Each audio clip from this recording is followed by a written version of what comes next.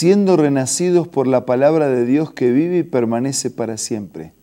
Por eso, con gratitud y con necesidad, nos encontramos diariamente para ser conducidos por el Señor y su palabra a una reflexión y a tomar decisiones que permitan poner nuestra vida siempre de parte del lado de Dios. Hoy nos detenemos en el capítulo 15 de Isaías. Antes pedimos la bendición de Dios. Padre nuestro que estás en los cielos, al abrir tu palabra, por favor, abre nuestro corazón y permite que podamos entender tu mensaje. Lo pedimos y lo agradecemos en el nombre de Jesús. Amén.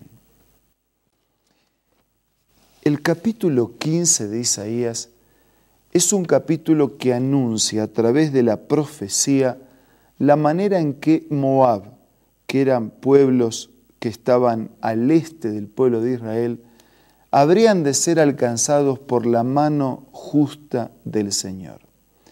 En realidad hay dos características distintivas en el comportamiento de los moabitas que era coincidente con el comportamiento de otros pueblos vecinos. Por un lado, la soberbia extremadamente desmedida, y por el otro lado el enriquecimiento ilícito a través de los saqueos. Por eso dice esta profecía contra Moab, la ciudad moabita que está arruinada, que será destruida en una noche, la ciudad eh, que a los que acudían los de Dibón al templo, a sus altares paganos para llorar, Moab está gimiendo por Nebo y por Medeba, es decir, era una ciudad, era un pueblo que tenían, habían construido altares a otros dioses que no eran el verdadero Dios. Eran pueblos que centraban sus rituales religiosos en la idolatría, es decir, en la adoración de ídolos, ídolos que, que son, los ídolos son dioses que construimos con nuestras manos o con nuestra imaginación. Dice el versículo 3 que todos deshechos en llanto van por las calles, vestidos de luto, gimen en los techos y en las plazas. Llegaría la hora de su juicio, llegaría la hora de la recompensa, llegaría la hora de la cosecha de acuerdo a lo que habían sembrado. Y esa cosecha sería llanto, dolor y tristeza. Dice el versículo 5. Mi corazón grita por Moab, sus fugitivos huyen hasta Zoar, hasta Eglat Selicilla. Suben llorando por la cuesta de Lujit.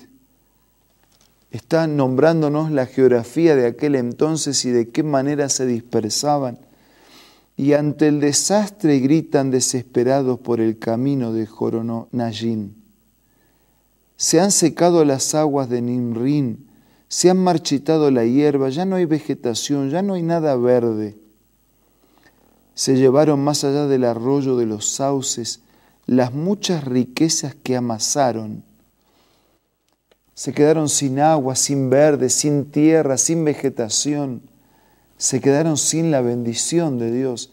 Y sin la bendición de Dios no nos queda otro destino que la destrucción.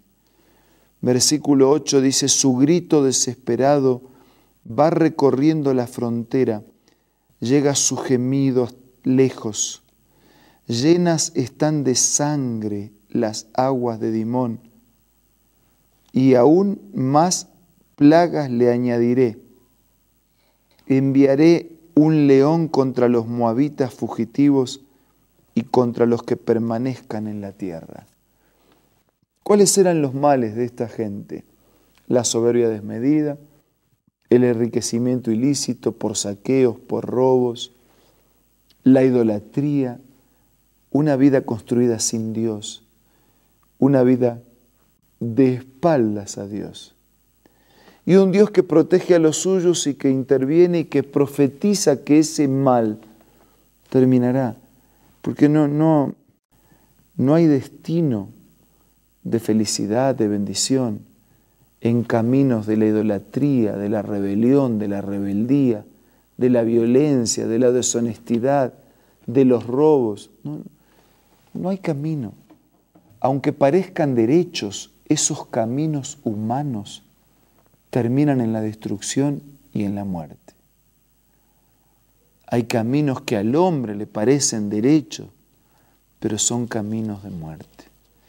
Y la profecía lo anticipaba con toda claridad, pero no solo para los moabitas, no solo para los pueblos que en aquellos años pasados de la historia antigua eran vecinos de Israel, tan cerca de Israel, tan cerca de un pueblo que creía, que confesaba que era bendecido por Dios, tan cerca de aceptar su Dios como otros vecinos lo habrían hecho, tan cerca y tan lejos.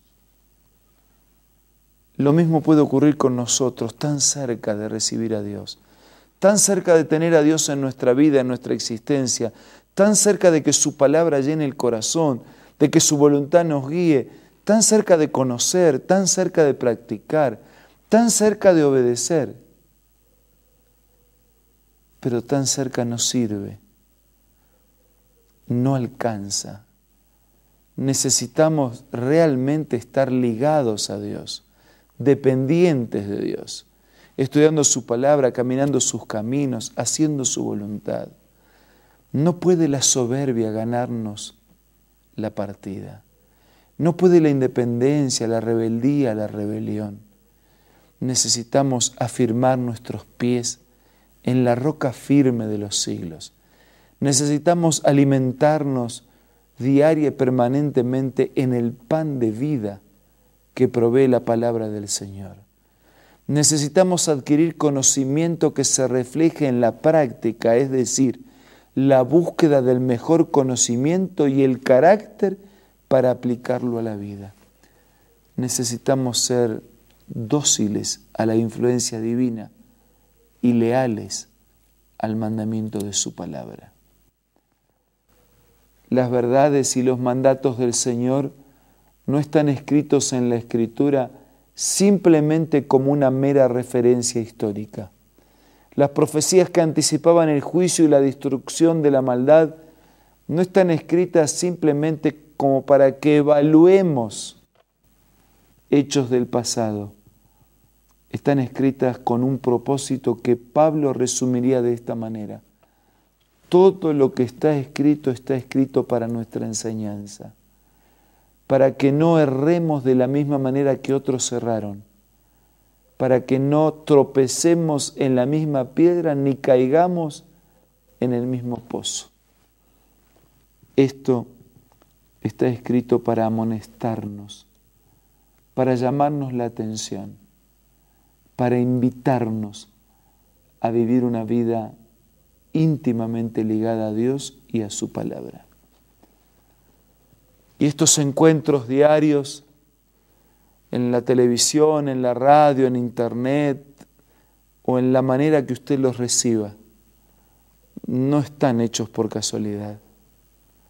Seguramente Dios tiene un plan para nosotros y lo tiene también para usted. Seguramente usted está escuchando esto no por casualidad, porque lo necesitaba. Un Dios que que tiene que ser algo más que un diccionario en su vida, para consultarlo cuando una palabra no sabemos escribir. Un Dios que tiene que ser una realidad personal todos los días. Por favor, haga de Dios una persona real todos los días presente en su vida.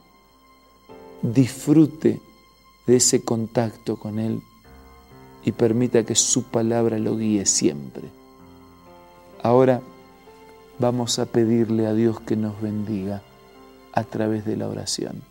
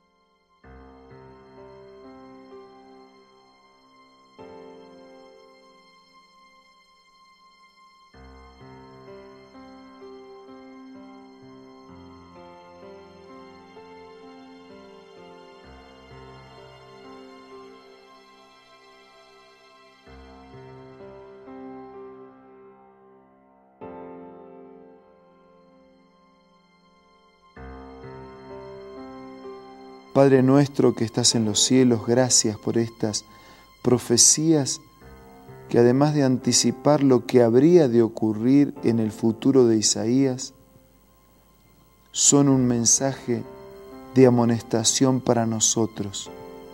Queremos recibirlo y de verdad hacer tu voluntad. Guíanos, condúcenos y ayúdanos para que Dios sea siempre presente en nuestra vida todos los días. Bendice a todos nuestros amigos y condúcenos de tu mano. Te lo pido y te lo agradezco en el nombre de Jesús. Amén. Nos reencontramos mañana para seguir siendo reavivados por la palabra de Dios.